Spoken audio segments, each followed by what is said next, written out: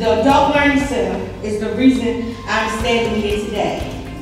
The teachers and the staff saw the potential in me when I couldn't even see it in myself.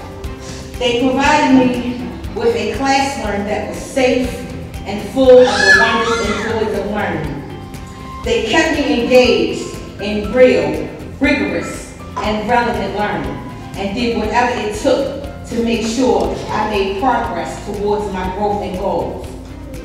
But a great deal of what they do is also having a much more long-term effect in ways that may not be apparent right away, but will be visible and helpful in my future.